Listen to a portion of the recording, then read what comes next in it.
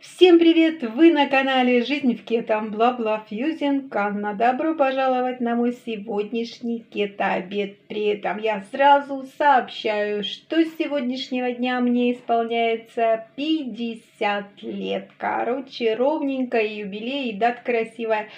И мои 50 килограмм на минус минус и кето, и 50 килограмм, и 50 лет. Короче, все замечательно. Хочу отметить еще, что подошла я к этой дате, ну, совершенно счастливым человеком. Тьфу-тьфу-тьфу, как говорится.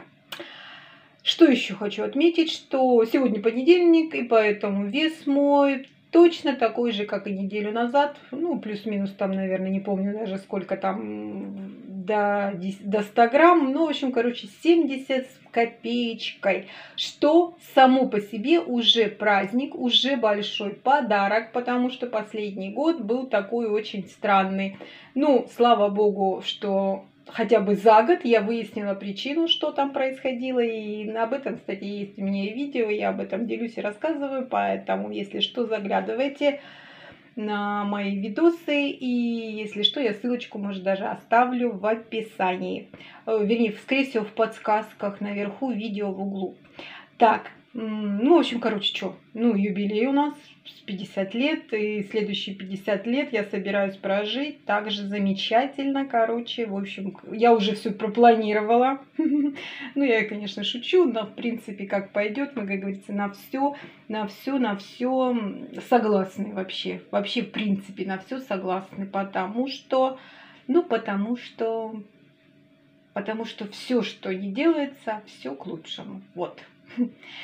И что у меня сегодня на обед? Сегодня на обед у меня замечательный, восхитительный, совершенно обалденный рыбный суп. Я его называю финский суп, как уж он называется, не знаю. Но, в принципе, он в любом случае такой чисто кето-варианте, то есть если там должна была быть какая-то лук или морковка жареная, то здесь только рыба, в данном случае судак 200 с небольшим грамм, что, кстати, немножко многовато, то есть мне пришлось с трудом потом этот весь обед ну, как бы в пропорцию выравнивать, потому что многовато, многовато получилось белка.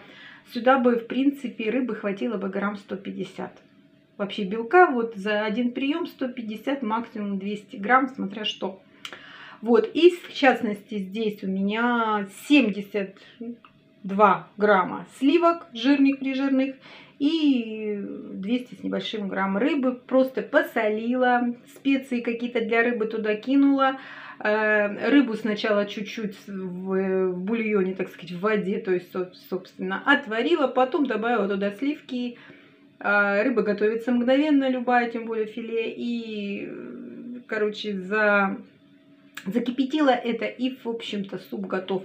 Он настолько быстро готовится, что, в общем, пока я собирала все остальное, вот это вот все, салат резала и складывала, все это красиво почти, практически, оно все и остыло уже практически. Он уже чуть теплый, я даже, может, думаю, его надо подогреть.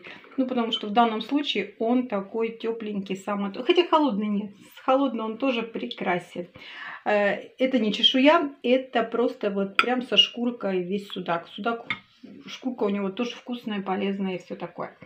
Ну и салат, конечно же, здесь сегодня у меня порядок немножко по-другому. Сегодня, что тарелки вообще стоят в разные стороны, поэтому э, в салате здесь сегодня посчитана только заправка 2 столовых ложки рыжикового масла уже доедаю последние фактически остатки. Совсем чуть-чуть осталось рыжикового масла. Потом буду есть то, что купила недавно и видео, о, чем показывала буквально позавчера.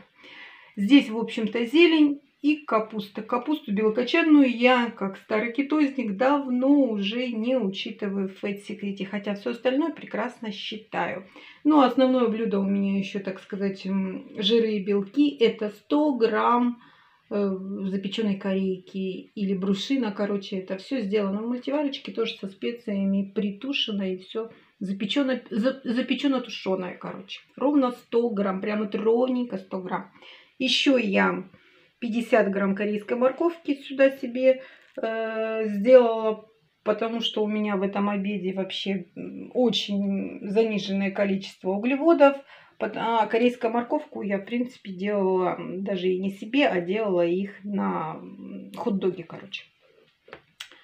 Классический, так сказать, вариант хот-догов. Ну, то есть не себе, конечно же. И еще на десерт 35 грамм арахиса. Там тоже, кстати, содержится, в смысле, углеводы в арахисе достаточно много, поэтому, собственно, они сюда Сюда именно арахис я и выбрала из орехов, что было. Вот такой сегодня у меня получился кето-обед. Ужин сегодня будет стопроцентно не дома, стопроцентно он будет где-то в ресторане. Ну, большого, как говорится, какого-то такого гуляния э, не будет. Просто посидим в ресторанчике, как говорится, поедим. Эм, как всегда, в ресторанах сейчас принято, ну, какого-то нежирного постного мяса на ужин. Естественно, я уже весами ничего взвешивать не буду. Буду есть, так сказать, интуитивно. Скорее всего, белка переем сто пудов. Ну, ничего страшного, если это один день произойдет. Ничего страшного ни со мной, ни с кетозом, ни с весом точно не произойдет. Ну вот, вот такое у нас сегодня все.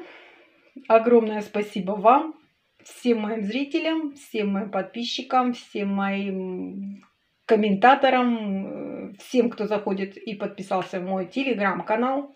У меня есть одноименный телеграм-канал. Кета рулит, магия вечна. Всем привет, пока-пока. До встречи на моих каналах.